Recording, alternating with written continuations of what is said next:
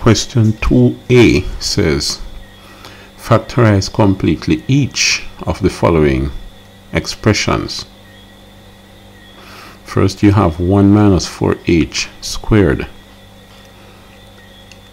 Now the shortcut method of factorizing this and the, the, the shortcut method will be sufficient in this case because it's just one mark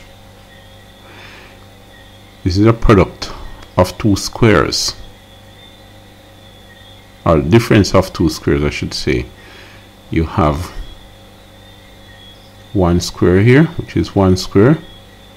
The difference which is minus and the other square would be 4 which is 2 squared 8 square which you can rewrite as 2h all squared alright?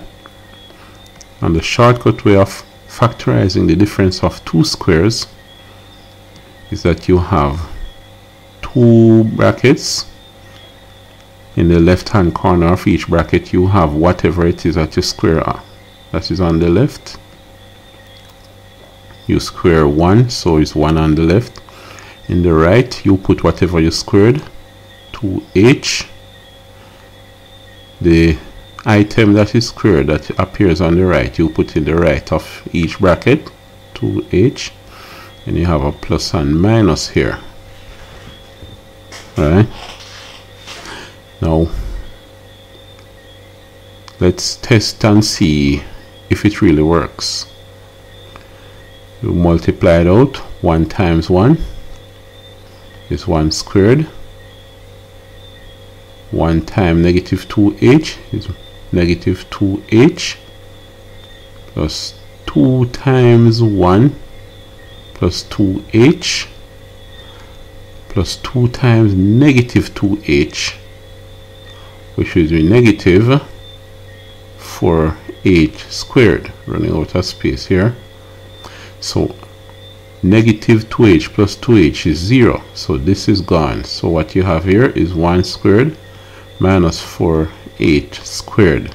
So it does work here. It's just a matter of testing it to see if it works. Now let me just remove the test of the item which I just did and we go on to the second part.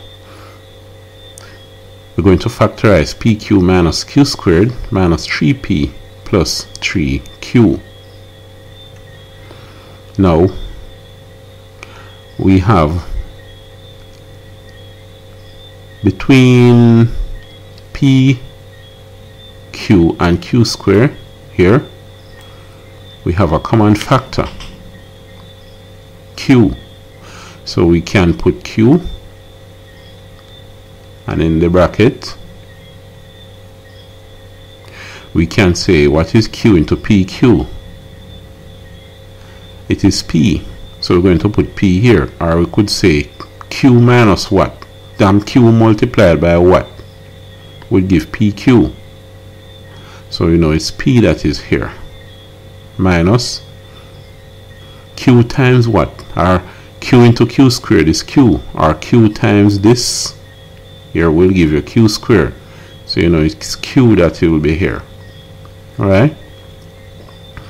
Now between these two, negative 3p and positive 3q, we have a common factor of 3.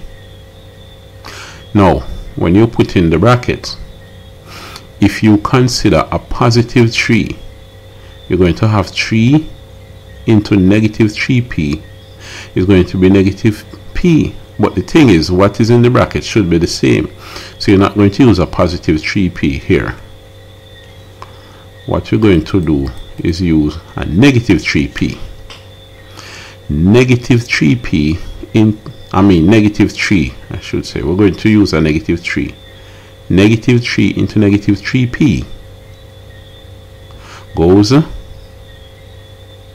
positive p or we could say negative 3 multiplied by this. Here what you put here will be negative 3p negative 3p times what? Gives you negative 3p it is p. So what you're going to have is p here. So that negative if you remove the brackets you have negative 3 times p give you negative 3p then negative 3 will multiply this that you'll put here to give 3q positive 3q so you're going to have a negative 3 times. Something that results in positive so it must be minus. And you know 3 times q gives you q. So you have the same things in the bracket now. Now the thing is you have an expression here where p minus q is a common factor. You have q times p minus q minus 3 times p minus q. The p minus q is a common factor. It's just like if you would have qx minus 3x. The x is a common factor. It's the same thing here that happens with the p minus q and you would put x outside the bracket and q minus 3 inside the bracket. That's what you would do alright? In the same way you put p minus q outside the bracket and q minus 3 inside the bracket. So you have p minus q q minus 3 as the answer. Completely factorized now alright? This was a bit lengthy but it's a matter of explaining why you would do what you do here. So the answer is p minus q times q minus 3 or you could have put this first and said the answer is q minus 3 times p minus q.